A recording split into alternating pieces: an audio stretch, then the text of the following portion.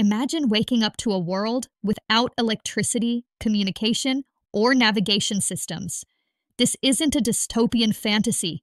It's a plausible scenario if a massive solar flare were to hit Earth. Solar flares are intense bursts of radiation from the sun, often accompanied by coronal mass ejections, huge clouds of charged particles. When directed at Earth, these can cause geomagnetic storms, disrupting our planet's magnetic field. The most powerful recorded event, the Carrington event of 1859, caused telegraph systems to fail and auroras to appear as far south as the Caribbean. If a similar event occurred today, the consequences would be far more severe.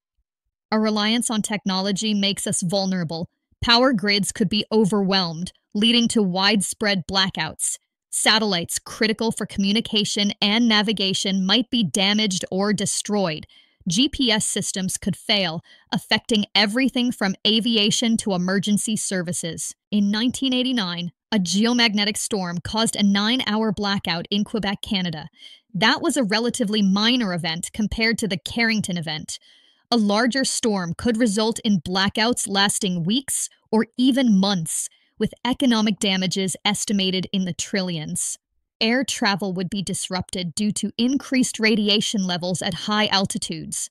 Financial markets, dependent on real time data, could crash even basic services like water supply could be affected if pumping stations lose power. And it wouldn't just be a technological crisis, it would quickly become a humanitarian one. Hospitals could lose access to vital equipment, refrigerated food supplies could spoil, and digital banking systems might go offline, cutting off access to money from millions. The timing would be everything. A major storm during winter could freeze entire regions without heat. In summer, water systems and cooling grids would face immense strain, impacting health and safety. Despite these risks, our preparedness is limited. Hardening infrastructure against such events is costly, and solar storms are unpredictable. However, investing in resilience is crucial to mitigate potential disasters. Understanding the threat of massive solar flares is the first step towards safeguarding our civilization.